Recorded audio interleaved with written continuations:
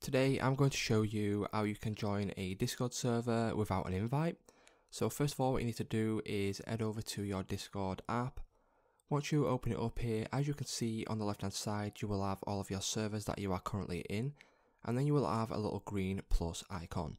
So click on the little green plus icon and then what that will do is it will bring you to here and you have a load of different options so you can click on create my own or you can click on join a friend on Discord down at the bottom so as you can see, once you click on that, you'll be brought to here. So all you simply need to do is enter in the link here. So all you need to input is https forward slash forward slash discord dot gg forward slash. So for example, if I put in something like um, football, what that will do is it will bring me over to this invite page.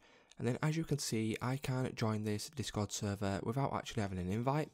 So that's how easy it is to go ahead and join a Discord server without an invite.